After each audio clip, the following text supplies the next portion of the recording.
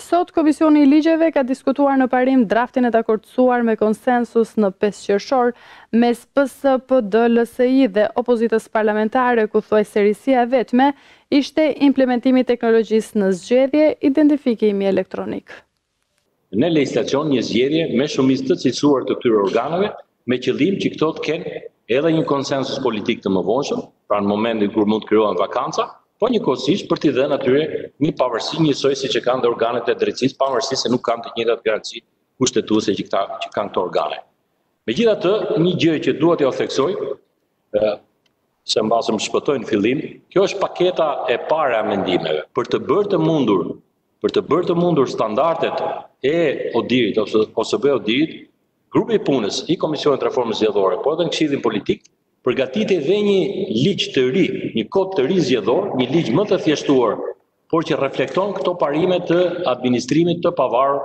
dhe civil të zgjedhjeve, pra nga një administratë e depolitizuar. Mendojmë që kjo do të jetë faza e dytë e reformës, siç kemi rënë dakord edhe me Partinë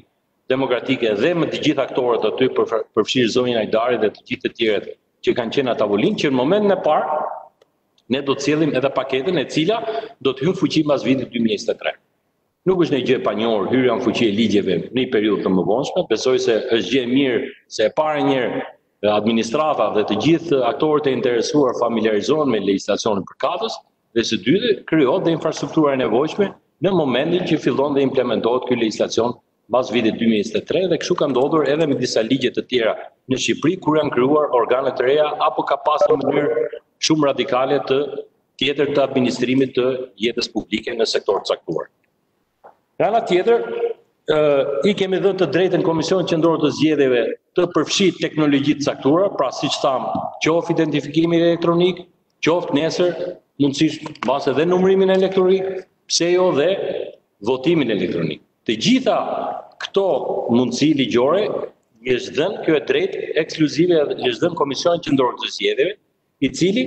mund të vlerësojë në çfarë faze do t'i shtrijë këto, duke filluar qoftë edhe nga këto zgjedhje nëse ajo është. Kjo do të bëjë për shembull nëse do të kemi nesër numërim elektronik, nëse do të kishim më vonë hapje të listave zgjedhore që mund të shmangim dhe debatet se si do të mund të Numërohen votat në mënyrë të drejtë, pasi unë e kam thënë publikisht dhe i qëndroj asaj që hapja e listave mund të sjellë dhe tensione dhe probleme, siç kanë hasur shumë vende të tjera dhe ne duhet mos kemi droje nga këto, po duhet t'i parashikojmë, jam i bindur që nesër një numërim elektronik do të mund të saktësojë më mirë rezultatet në një konkurim me shumë palë tashmë, jo vetëm mes partive, por dhe brenda partive. Kështu që mendoj që këtë të drejtë e ka këqëzëja dhe nuk ka më nevojë asnjë lloj autorizimi nga kodi zgjedhor për të eksperimentuar me këto teknologji. Mjafton që organi rregullator të marrë një vendim me një shumicë të cilësuar, se natyrshëm kjo do të kërkonte dhe një lloj